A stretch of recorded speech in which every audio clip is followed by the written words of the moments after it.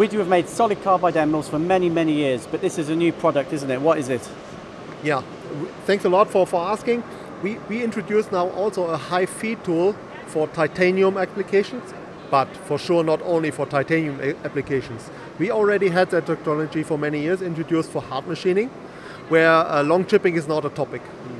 But uh, coming to, to these uh, long chipping materials, uh, we need to find a solution with a complete different geometry, what we have now here as a titanium version. Mm-hmm. For sure, that tool is working on every stainless steel, on Inconel, not only on titanium and high temp alloys. Okay, so maybe it's not a titanium, maybe it's heat resistant or you know exotic materials. Exactly. Uh, that is the idea behind to have really for the longer chipping materials a solution for this kind of application.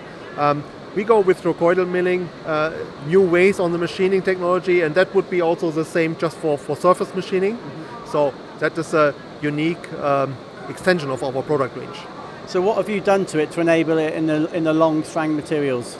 Well, we modified completely the geometry, and uh, we had it already since a few months as a tested as a special tool at some end customers, and we had a lot of experience now with these kind of tooling. So it's uh, one of the, the leading products now. And what is the range looking like? Is it just one grade or is it coated, uncoated, for instance?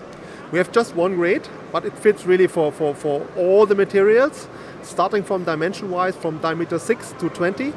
So we can cover a huge range of, of applications with that tool.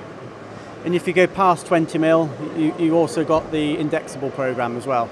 Exactly. Then we switch to the indexable program, and then we have uh, extension up to 160 millimeters, so we can really every high feed application we want to.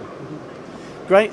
And do we need a lot of power to run the high feed solid carbide tool? Do I need an expensive CNC machine tool, or will most machines run them?